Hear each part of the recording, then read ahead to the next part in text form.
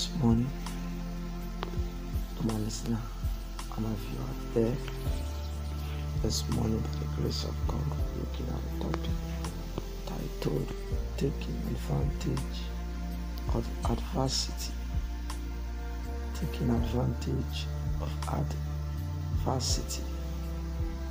By His grace, when we hear adversity, we are referring to a state of unpleasant condition. Adversary is a state of unpleasant condition that people find themselves in. Misfortune, calamity. How do we take advantage of it? Many people cast their pains, cast their losses. But we believe are the children of God. We have been encouraged to take advantage of adversity. Our text is Romans chapter 8, verse 28. And we all know that all things work together for good to them that love God, to them who are called according to his purpose. Romans 8 28. All things work together for good for the children of God, for those love God. There was a popular song years ago that contained the lyrics begging pardon. I never promised you a rose garden. God of God, God of course, did creates for man a beautiful garden of Eden, a state of perfection in which man could live free of any want. But man sinned against God, and God removed him from the garden. Yet, even now, God has promised to deliver us from all our adversaries. There are two ways to respond to adversity. We can give in and be depressed, or we can triumph over it and be joyful.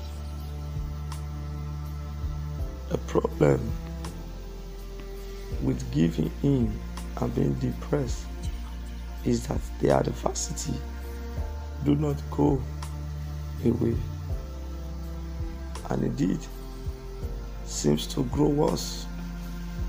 One of the best ways to overcome adversity is to praise God in the midst of your trouble. Begin to sing to God or read a psalm out loud. Meditate on scripture, particularly passage like Romans chapter 8 to, to 39, which include this wonderful assurance.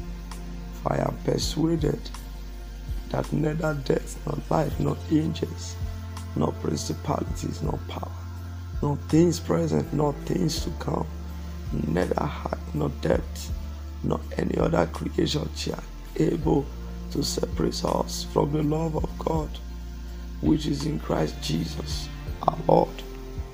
Remember, our hope is not based on circumstances. Our hope is built on nothing less than Jesus' blood and righteousness. On Christ, a solid rock, I stand. All other ground is sinking sand. Beside, as another song says, if I never had a problem, how would I know that God could solve them? How would I know what faith in God could do? It is through our adversity that we learn to trust in Jesus and through trusting to triumph over them. Look upon adversity as opportunity from God to grow in faith and to become a stronger servant. I pray by the grace of God that this enriched word of God will be blessed in our hearts. In Jesus' name, amen. Let us pray. Our Father, our God, I praise you for your constancy. I praise you for your grace and mercy. I thank you for your selfless love that rescued me from death through the cross of Jesus. You alone are worthy to be praised, O God. You are my hope and my song. Through your Son, precious name. Amen. I pray the Lord bless that word. Let us pray. Bless every word of today in your heart in Jesus' name. By the grace of God, I remember humble self, Joshua of 1. Make sure you join me tomorrow for another presentation like this. Till then, stay blessed and stay strong.